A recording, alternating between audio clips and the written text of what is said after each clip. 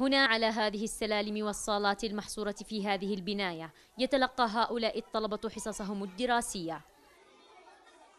على الرغم من المساحة الضيقة والازدحام إلى أن الجميع يصغي بصمت لما فاته خلال أشهر توقف العملية التعليمية بسبب القصف والحرب.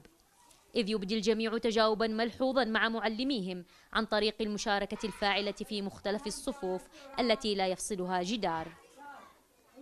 كنا ندرس بأمان وسلام لكن الحوثيين دمروهم دمروا مدارسنا والآن نحن جينا إلى هنا لكي نتعلم ولكي ندرس حتى في الدرج وفي كل مكان. سنظل ندرس من أجل من أجلنا ومن أجل اليمن. ونحن بنتحدى وبندرس بالدرج حتى في أي مكان حتى تحت الأرض بندرس. وإن شاء الله آه، نبني مستقبل جديد ونرجع إلى مدارسنا.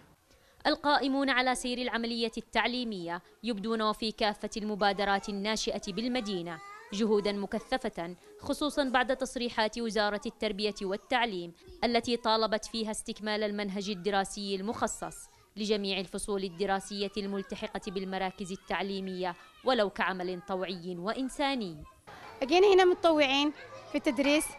مش يعني وحدي في كثير من المدرسات كل وحدة في تخصصها بادرنا للتطوع للعمل في هذا المركز حيث المركز يضم أكثر من 30 معلمة متطوعة وهناك خمسة إداريين.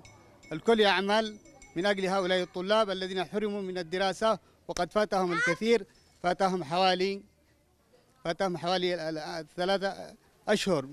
تشهد العملية التعليمية في تعز قصورا في احتياج الكتب والفصول الدراسية المخصصة للتعليم وتوزع الطلبة على بنايات المراكز والمعاهد إلى أن تضافر جهود القائمين على عمليات التعليم أسهم في التحاق العديد من الطلبة المختزلة أحلامهم في العودة يوما ما إلى مدارس تحتوي طموحهم وأمنياتهم الكبيرة بأن تختفي الحرب ويستكملون مسيرتهم التعليمية.